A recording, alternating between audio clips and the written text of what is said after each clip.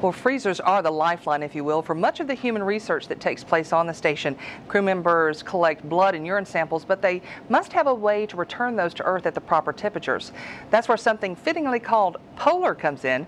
Polar units are being tested here at the Marshall Center. Like many other payloads before, Marshall has the facilities to simulate launch conditions and make sure that these payloads are ready for launch as well as operating on the station. I caught up with some of the engineers to learn more about Polar.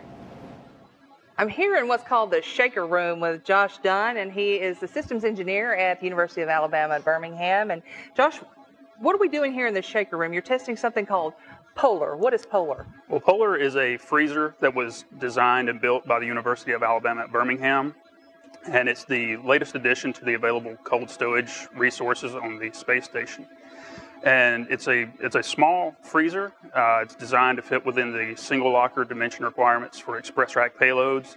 And to give some perspective on that, I would say it's approximately half the size of a your typical mini fridge or dorm room type refrigerator.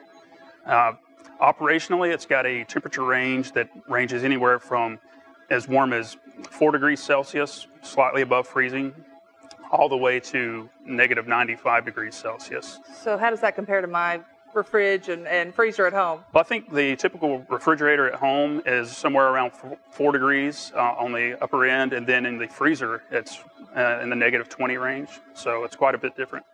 So this facility is really vital to human research. Tell us about what it what it transports. So Polar's main purpose is transporting science to and from the space station, and there's uh, really a wide variety of the science that can be stowed within it. It provides a generically designed sample volume. Uh, so pretty much anything that requires transportation in a thermally controlled environment can be stowed within it. Uh, typically, um, biological samples such as blood and, and, urine specimens are what is stowed, but uh, is certainly not limited to those types of samples. So you're involved because you're an engineer at UAB and, and you guys built this. Tell us about the relationship between you guys and NASA. So the UAB and NASA relationship goes back several years. Our the engineering division of our center began uh, supporting development of protein crystal growth hardware for experiments on the space shuttle. And over the years, we've kind of evolved, and uh, our main focus has shifted into the development of cold stowage payloads such as Polar and Glacier. And we also have another payload called Merlin, which is a freezer refrigerator incubator. I think we have four Merlins on board the station that are supporting everything from um, science to stowage of the uh, crew's food and drinks in the galley. So um, we support payload integration and operations out of KSC, and then our contracts are managed out of JSC. So between the testing we do here at Marshall and the other activities at the other centers, we have a close working relationship with, with multiple NASA centers. And now we're going to talk to one of your colleagues about the actual testing. Okay. I'm joined now by Aaron Reese. He is a mechanical engineer at UAB, and you're kind of handling the testing here of Polar. Tell us what the testing is. We say we're in the shaker room. What does that mean? Yes, ma'am. Uh, we're doing a vibration testing on Polar as part of the flight qualification process. Um, each unit is uh, uh, tested and analyzed to ensure that it meets the uh, flight requirements. So it's actual flight hardware brought here, and then you shake it.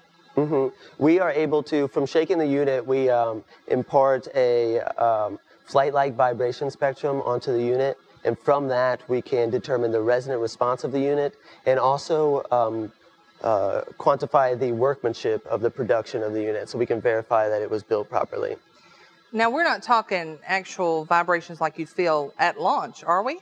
Yes, we are. It's oh, okay. uh, exposed to a flight like vibration spectrum. But not quite there, right? Um, not quite at that level. For We have uh, a qualification unit that's mm-hmm. exposed to uh, over a qualification level vibration load, and then these are exposed to an acceptance level, which is slightly lower than that um, to, to, determine the workmanship of the unit. So, how long does this testing go on? Uh, each unit is tested. This will take, the vibration testing typically takes a day, and then we'll move on to different environmental testing. But we have to do it for 14 units, so it spans the entire production of the project. So, it's not just the shaker test, what else do we do? We do. Uh, we'll be doing uh, acoustic testing, but we also come back up here for to Marshall for um, different things such as electromagnetic interference testing and functional checkouts with a flight like express rack um, throughout different stages of the production and um, flight preparation process. Why the acoustic testing? There, there are maximum noise limit requirements uh, on the station to prevent the crew from experiencing unhealthy noise limits. So we've uh, uh, operate Polar at its maximum, its loudest state, and verify that we are um, not exceeding those limits. So, what's it like for you working with this actual flight hardware and really helping with the research program? It's it's pretty awesome. I mean, it's great to know that one one thing that we've worked on is going to be uh, orbiting the Earth on the space station. And it's going to be used to um, uh, progress science, and uh, uh, it's it's incredibly we're incredibly fortunate to have this opportunity. You stand there in Birmingham and you watch it fly over, and you say, "Hey, Yes. I've touched a piece of hardware on that." Absolutely. I mean, that's incredible.